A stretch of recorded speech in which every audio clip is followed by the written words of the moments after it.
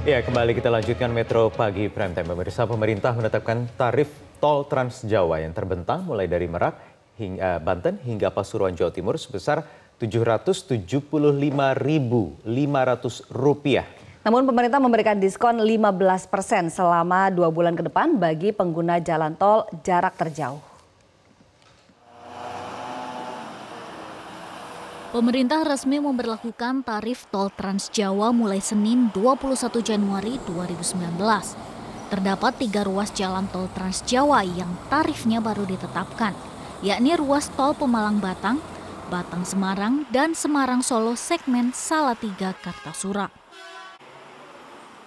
Besaran tarif tol Pemalang Batang untuk kendaraan golongan 1 mulai dari Rp4.000 hingga Rp39.000. Sedangkan tol Batang Semarang mulai dari Rp3.000 hingga Rp75.000. Untuk tol Semarang Solo, besaran tarif kendaraan 1 mulai dari Rp7.500 hingga Rp65.000. PT Trans Marga Jawa Tengah selaku operator ketiga tol tersebut memastikan penetapan tarif ketiga ruas tol berdasarkan keputusan Menteri PUPR nomor 59 tahun 2019. Tarif untuk kendaraan golongan 1 ditetapkan sebesar Rp1.000 per kilometer. Kilometer